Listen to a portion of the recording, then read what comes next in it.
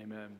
I do encourage you to return to Isaiah 58 this summer, return to that text, pray that, uh, that, that we would not be a people that know the Lord up here, but that we would know him in our hearts and that would go through our hands. To finish this Isaiah series, I, I want to invite you to open to Isaiah 66, the last chapter in the book of Isaiah. You can find that on page 625. And the children, you can go to Children's Church. Thank you for the strong whisper, Pastor Stodder. And kids, if I ever forget, well, I'm not going to say that. We don't want kids running everywhere. Isaiah 66, page 625 in the Blue Pew Bible. I began this sermon series back in March saying that all of Scripture, all of the Bible is glorious, like a sunset over the fields of central Illinois, but there are particular passages in the Bible that are majestic. They're like the national parks of the Bible, majestic in their beauty. And it's my opinion that Isaiah is a majestic book of the Bible. I hope you've sensed that in these last 14 or so weeks, that you marvel more at the nature of God and the beauty of His Word. I also hope that as we leave Isaiah today, that this would not be the last time that you leave it, but that you now have better categories in your mind the categories of Israel's sin, God's judgment, and his redemption. Those are the three big categories sin, judgment, and redemption. And redemption is coming through the promised Messiah who will reign on the throne of David. And that with those categories, you can enter back into Isaiah easier and read it and understand it and appreciate the beauty of this book. Over the past 14 weeks, we've seen that one of the primary problems in the hearts of the nation of Israel is that their God is too small. They did the church thing, but they didn't have a reverent fear and awe of the Lord. It's been said throughout the series that their God was like a little uh, puppy dog in a purse, a cute accessory without much bark or bite. They had domesticated the Almighty, they'd relegated the Lord to a little time slot in their weekly schedule for worship. So, all throughout this book, Isaiah has been saying in various ways, Behold your God. Consider the Almighty. Think about the Holy One. He's not, he's not a hobby, He's not an add on to our lives, He's not a, an old buddy. He's Creator and Redeemer, the Almighty, the King of the heavens. There's none like him. And we come to Isaiah 66 this morning.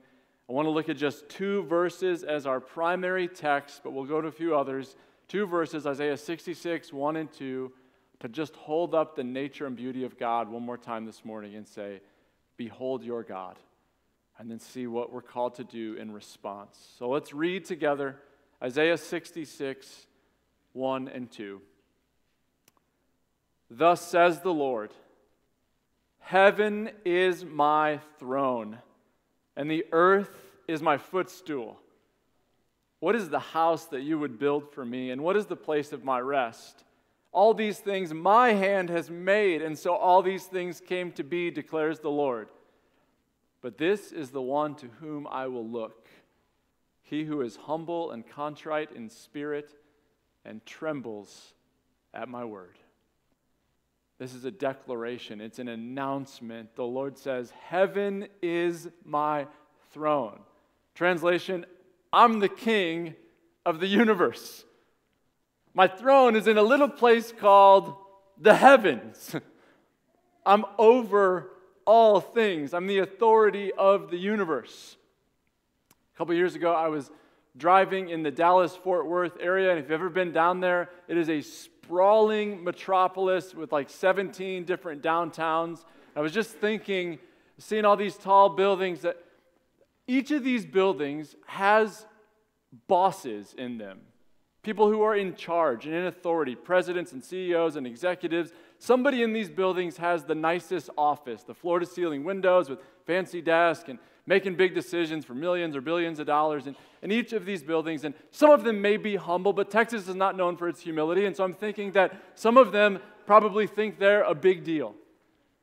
And I'm going, pride is so silly. Because the person in that building that has the cool office may think that they're really, really, really something, and there's a building right next to them with somebody in that building that has the best office.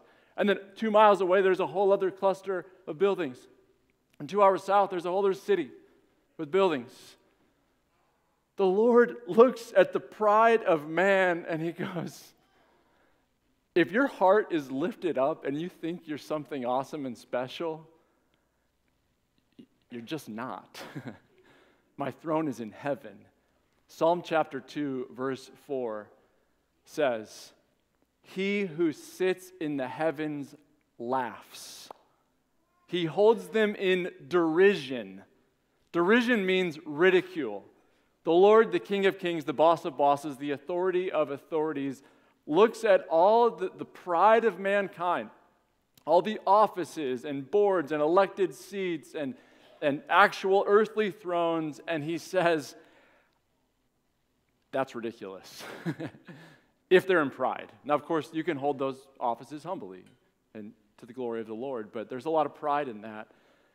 The, the point is, the gap between who God is and who we are is indescribably massive.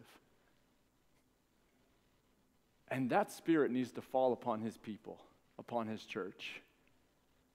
He is, there's none like him. Like in Isaiah, we not only see that God is great, we also see that man is pretty small. Chapter 40 The nations are as a drop in the bucket, a speck of dust on the scales. Chapter 40 again. God is enthroned above the circle of the earth. Here, listen to this. Its inhabitants are like grasshoppers. Chapter 41. Israel is a worm. Chapter 63. All the works of man are like a withered leaf. Chapter 64. The Lord is potter and we are clay. We're Play Doh in the hands of God. The most accomplished, beautiful, successful, intelligent, winsome person you know is a dust worm, grasshopper fleck of Play Doh in the sight of God. The Mona Lisa, dust. The Great Wall of China, a worm. All 46 presidents of the United States put together, with all due respect to their office, grasshoppers. Heaven is my throne, says the Lord. The earth is my footstool. This majestic, rotating, biological, chemical masterpiece that we are on right now is the footstool of the Lord. And if you think about all, all the furniture, I mean, I'm not super into decor, but I, I think that footstools of, of all the furniture are the most functional piece of furniture, right? Like, you don't really need a tricked out footstool. You just need like a box, a cooler. That's what you need. Because the point is the person using the footstool. And the Lord says, The earth is where I put my feet. Just don't forget that, people of God. The earth is my footstool for my non physical feet. That's what it is. And interestingly, one of the subplots of this book in Isaiah has been whether or not Jerusalem and the temple and and, and the throne of David will last. Well, it's interesting that in 1 Chronicles chapter 28, when David, King David, wants to build the temple, and it turns out it's going to be his son Solomon that builds it, King David gathers a bunch of important people around, and he says this. This is 1 Chronicles 28. He says, Hear me, my brothers and my people. I had it in my heart to build a house of rest for the ark of the covenant of the Lord, for the footstool of our God. King David had it right when he wanted to build the most beautiful, ornate, gold plated building to show glory to the Lord, even then he said, the best we can do is going to be a footstool. When we go to worship and encounter the presence of God, we might see the bottom of his foot. That's it. That's the right heart. But what happened? The footstool became the object of worship rather than the one who sits upon the throne. We've seen that throughout Isaiah. They're going to church, they're, they're fasting, they're tithing, they're worshiping, they're singing, they're praying. And the Lord says, Your hearts are far from me. Look in verse 3 of chapter 66. It says, He who, so this is all, all worshipy stuff. It says, He who slaughters an ox is like one who kills a man. He who sacrifices a lamb like one who breaks a dog's neck. He who presents a grain offering like one who offers pig's blood. He who makes a memorial offering of frankincense like one who blesses an idol. They're doing all the churchy stuff, and their hearts are far from the one who sits on the throne of heaven. And he looks at all, I mean, they're giving offering, and he says, You might as well be breaking a dog's neck. You might as well be worshiping an idol because I know it's in your hearts. Church, we've seen this throughout the past few months. This is a warning for us, this is a caution because it is so easy to do, isn't it? It's so easy to make this moment about the footstool, about the moment itself, rather than the one who sits upon it. I, I praise God for our musicians who practice and who, who grow in skill and lead us in worship. But musicians, anybody that ever comes up here that makes music, just be, be, be cautioned not to make it about making music, but to make it about making worship to the one who sits on the throne of heavens preachers, me, Grant, Jordan, Marcus, Michael, others, Lord willing, many others that, that will preach.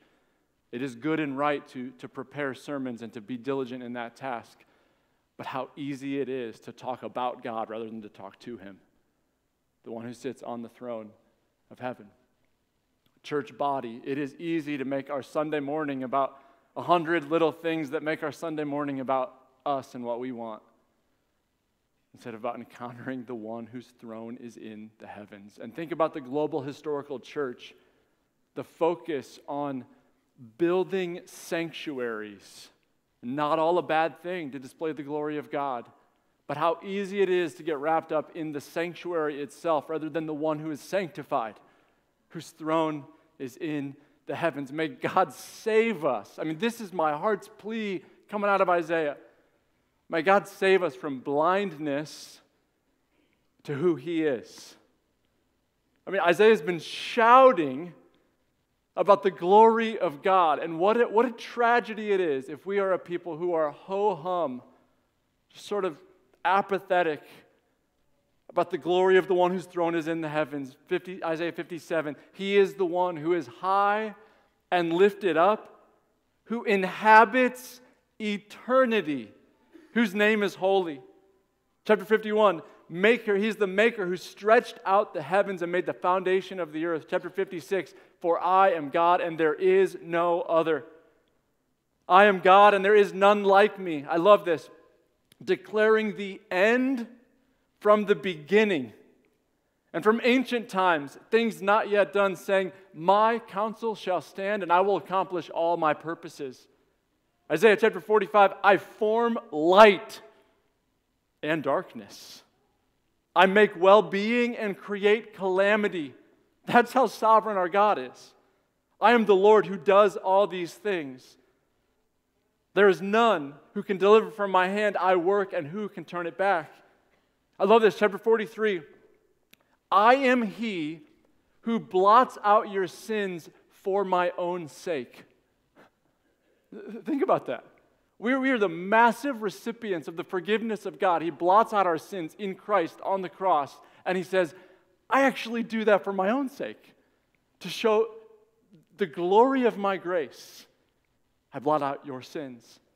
Chapter 44 I am the first and the last. Besides me, there is no God. Chapter 66 My throne is in heaven, the earth is my footstool. He is not a puppy in a purse.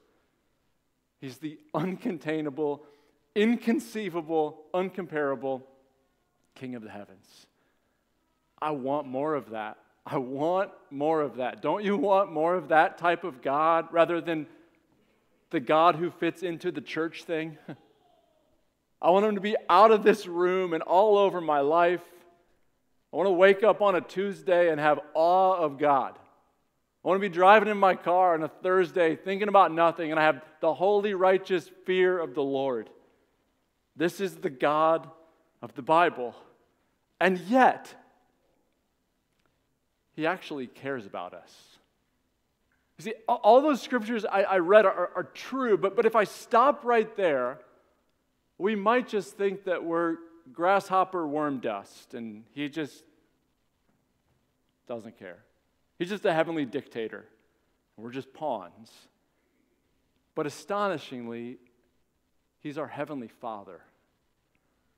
He loves us with a deeper love than we can conceive. Skip back one chapter to Isaiah chapter 65. I, I love how, how it does this. In chapter 66, it shows the power of God by talking about his feet. In chapter 65, it talks about the love of God by talking about his hands. Isaiah 65, 1 through 3. Listen to the mercy here. He says, I was ready to be sought by those who did not ask for me. I was ready to be found by those who did not seek me. I said, Here I am, here I am, to a nation that was, called, that was not called by my name. I spread out my hands all day to a rebellious people who walk in a way that is not good, following their own devices, a people who provoke me to my face continually. Here in that, the heart of our King, the one whose throne is in the heavens, says, And yet I hold out my hands all day to a disobedient and obstinate people. He says, I was ready to be sought. I was saying to the wayward, scholars debate is this talking about Israel? Is this talking about the Gentiles? Is talking about both? We don't know. The point is, it's talking about God. He's patient. He's saying, Here am I. Here am I. Come to me. He's inviting us to relationship. Do you remember chapter 55, where he says, Come, everyone who thirsts, come to the waters, and he who has no money, come buy and eat, come buy wine and milk without money and without price. The Lord is saying, Come to be in relationship with me. There's an open invitation, and yet a lot of people hear that and they go, eh, meh. They're indifferent. But worse than that, verse 2 says that the, many times we are rebellious to the King of Kings. He says, I spread out my hands all the day to rebellious people. Another translation calls that obstinate people. They are hard of heart, they're dug in, they're callous, they're not intent on changing. They are, as verse 3 says, people who provoke me to my face continually. You know what it means to be provoked? It means to be agitated or instigated.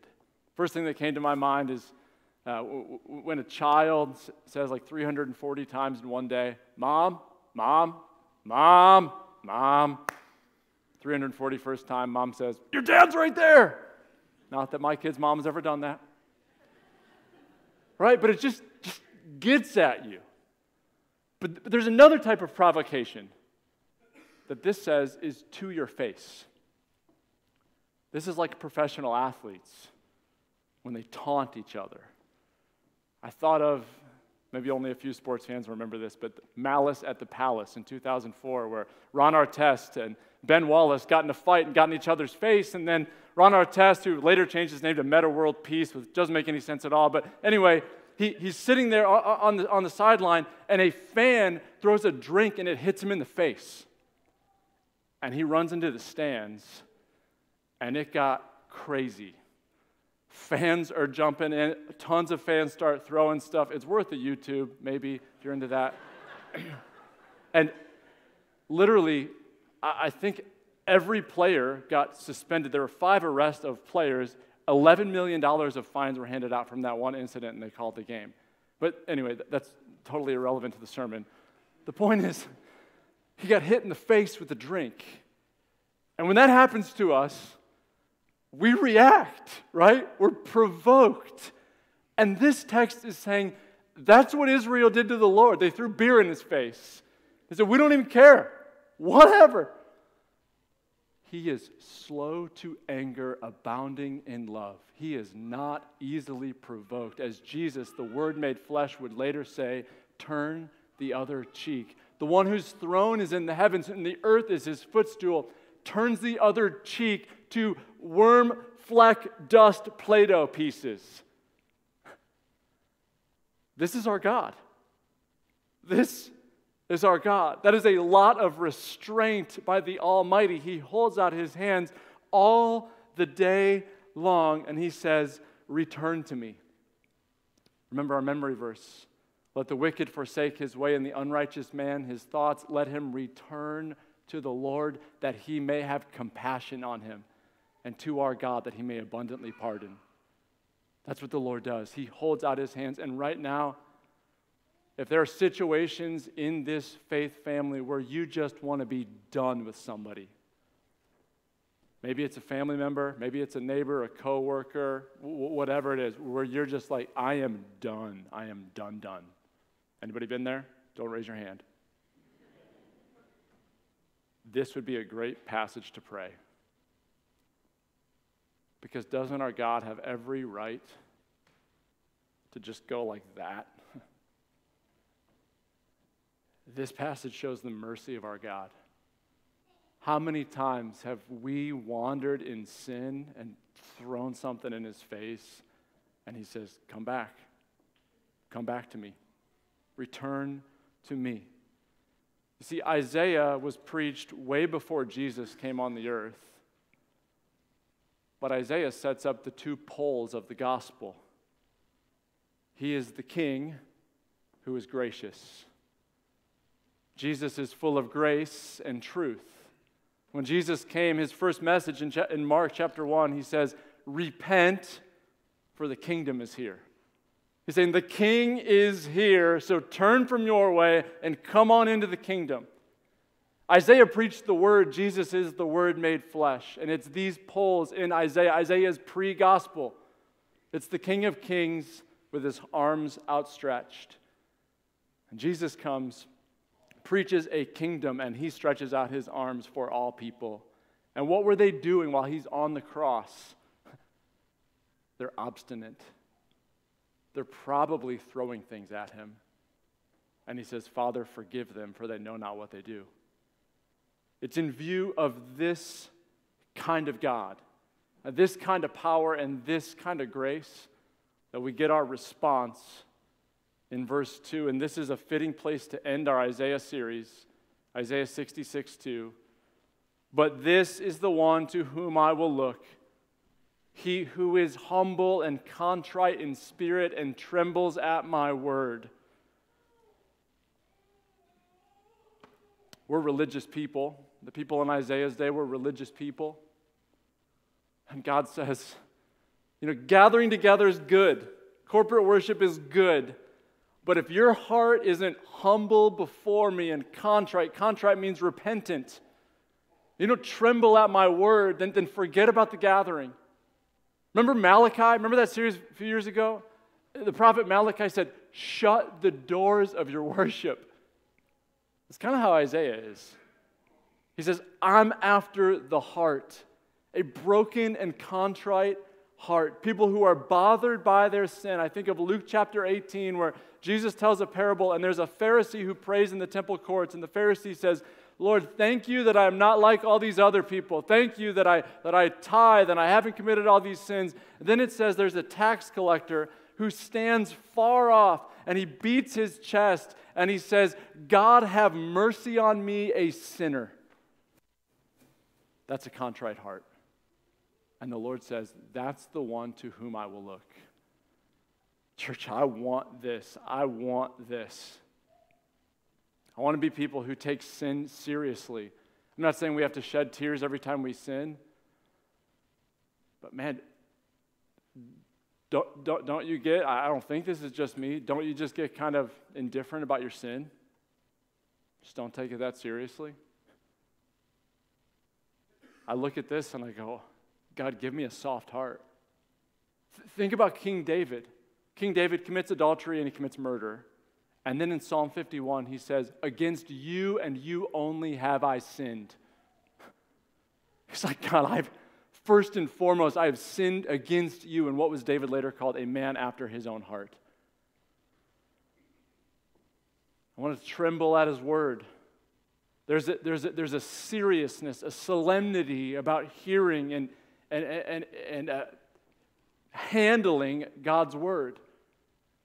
Like if, if, you're a scientist in a lab with some chemical compounds that, that could be explosive, you don't just go, oh, let's just mix a little there. there. No, like you take the directions seriously because there's implications. I want to handle his word with, with serious implications and go, I want to hear it correctly. I want to know it and meditate it and memorize it. Most of all, I want to do it. I don't want to shrug at his word. I don't want us to be a, a faith family that shrugs at the word of God, but to tremble at his word. And sometimes those who tremble at his word, that actually this means for all of us at some point in our life, God is going to call us to do something clear in his word that we're not going to feel like. And those who tremble at his word say, by faith, I, I, I will do it. I want to tremble at his word instead of being complacent and plateauing until the day we die to say, Lord, we want to obey, obey, obey, obey. We don't just want to hear, we want to do. What a promise. The Lord says, This is the one to whom I'll look. If you're humble and contrite in heart, you tremble at my word. He whose throne is in the heavens, whose feet are on the earth, looks to us. He looks to us. I, I pray that we take this to heart. I just c- close the Isaiah series right now. We are religious. We are. There's, there's no getting around it. We gather for, for worship, we pray prayers, we give, we sing. Many people here know more of the Bible than, than many believers have known throughout world history, but by, by a far measure. We are religious. And all those things are good, but do we tremble at the word of God? Do we just have holy, awesome fear and praise his name that he says, When you have fear, my hands are outstretched to you? I'm not just a cosmic king, I'm a cosmic father. And I will look to him who has a humble heart and trembles at my word. Amen. Father, we want your word to reign in our hearts in such a way that we delight in you as our King. That when we hear your word, it doesn't feel like a a barked out command, but the gracious instruction of a benevolent king. Oh God, help us to tremble at your word. Spare us, spare us, spare us from religiosity and spring up living faith among us. We pray in Jesus' name. Amen.